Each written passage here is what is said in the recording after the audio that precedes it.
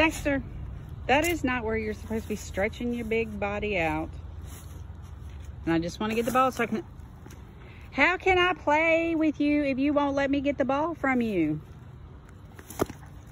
Dexter, seriously. Give me the ball. Ah! Ah! Dexter!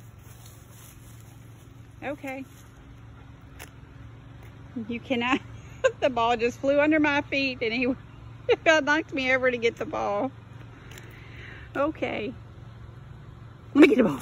Let me get the ball. You're such a pretty boy. Would you be so mean? You won't let me have the ball.